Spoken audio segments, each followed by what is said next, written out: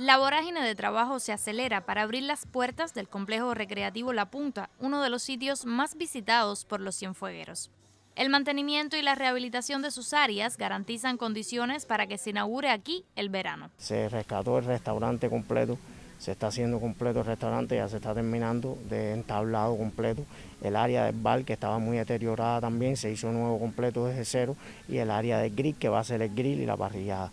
La cocina se agrandó, se le puso todos los equipos de cocina que vamos para dar un servicio de capacidad de 40 personas. El día 11 es la inauguración del verano. Nosotros, la empresa en conjunto con nosotros y el gobierno, vamos a montar varias carpas donde vamos a vender alimentos y van, van a venir varios restaurantes a vender en la entrada de la punta, a vender las comidas, la paella, el mandarín con su arroz frito. Durante la etapa estival tendrán nuevas ofertas para el disfrute de la familia cubana. La pérgola, emblemática imagen de la perla del sur, será empleada con diversas opciones gastronómicas. Se ha hecho un trabajo de hace un mes y medio aproximadamente, donde se rescató la pérgola, donde va a ser por reservaciones.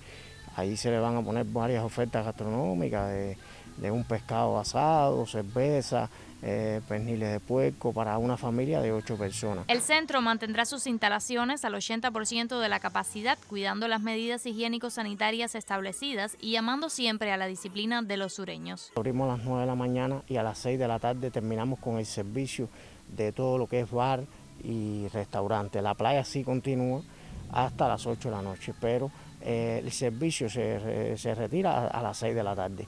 Eh, las mesas están separadas a dos metros eh, de cada mesa. Cienfuegos prepara su verano cuando se vive la segunda fase de recuperación post-COVID, circunstancias que demandan de una recreación sana y consciente.